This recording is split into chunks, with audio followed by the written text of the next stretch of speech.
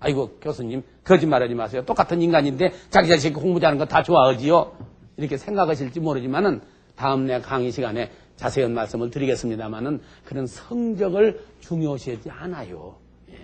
인간을 중요시한단 말이에요. 인간을. 예. 그래서 얘가 정말로 사람다운 사람이 되느냐? 나라를 사랑하고 민족을 사랑하는 이 아이가 되느냐? 친구를 잘 사귀고 부모를 잘 모시고 형제간에 우애하고 그리고 자기 일을 자기가 해결해 나가려고 하는 아이가 되느냐? 여기에 관심을 두는 거예요. 여기에. 그러면서 나름대로 나름대로 그 역할을 다 맡겨준단 말이에요. 그래서 아이들 만나보면요. 어렸을 때부터 자신감을 가지고 살아요. 그리고 나름대로 자기 나름대로 나는 그 어머니한테 의식화 교육을 받아서 그랬던지 나는 하늘이 특별한 뜻이 있어서 나왔다. 무슨 왕자로 태어난 기분이야. 맞으면. 우리나라는 왕자나 돼야 뭐, 뭐, 세자가 되고 왕자가 돼야 의식을 가지고 살잖아, 여기에. 근데 그거는 아무것도 아닌 아이들도 그런 자신감에 차 있어요. 놀라운 것은 이 성장한 뒤에 점점점 성장하는 가운데 공부를 좀 못하고 얼벙한 아이들도 기죽어져 내내 하나 못 봤어요.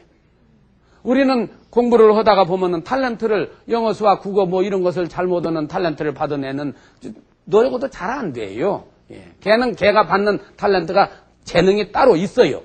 근데 그걸 발견하지 못하고 그걸 개발하지 못한 상태이기 때문에 지낼 수도 있지만은 그럼 우리는 기가 죽었다니까요. 무슨 게 학교 가도 시험 봐도 별로 안 좋아. 뭐 산수 성적도 별로 안 좋아. 국어 성적도 안 좋아. 뭐 물으면 선생님 물으면 내가 모르는 것만 골라서 묻는 것 같고. 예. 하여튼 모르니까 그런 거예요. 공부 잘하는 사람은 꼭 그게 잘 아는 것만 선생님이 물어준 것 같아. 대답을 촉촉 잘하니까는. 이제 그래서 기가 죽는데 이 히브리 민족의 자녀들은 기죽어진 애나 본 일이 없어요.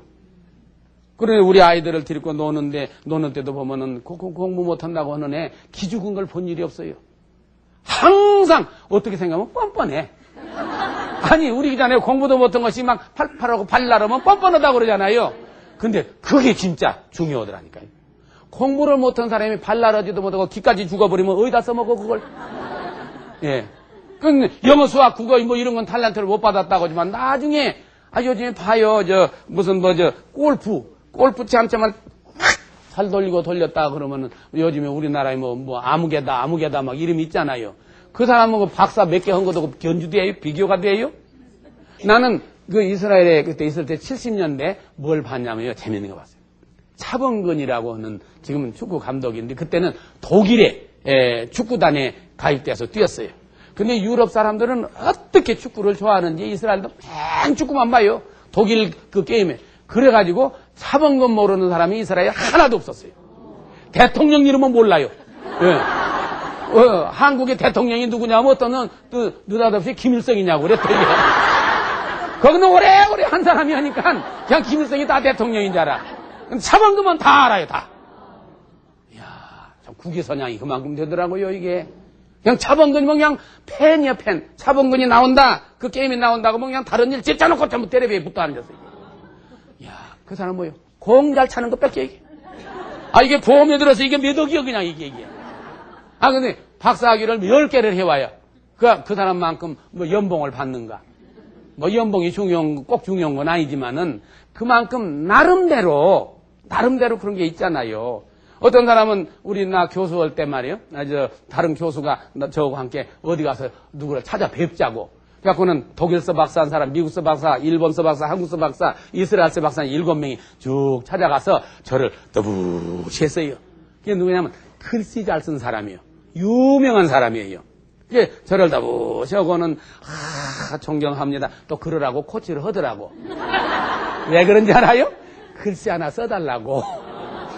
그러니까 신이 나가지고 글씨를 그냥 탁 들어서 한 장을 탁 써주는데 글자 한 자에 100만 원이요. 예. 그래서 우리 하나씩 받아 나 가지고 있어요.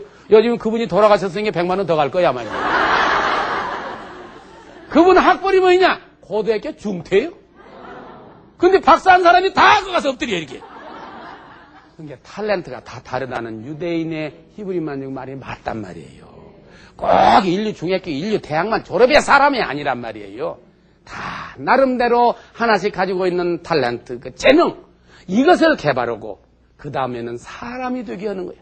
생각이 바로 되고 부모를 잘 공경하고 나라와 민족을 사랑하고 친구를 잘 사귀고 또 항상 이웃에게 좋게 지내고 인류를 평화롭게 하고 이렇게 지내려고는 사람 만드는 것이 얼마나 중요하냐.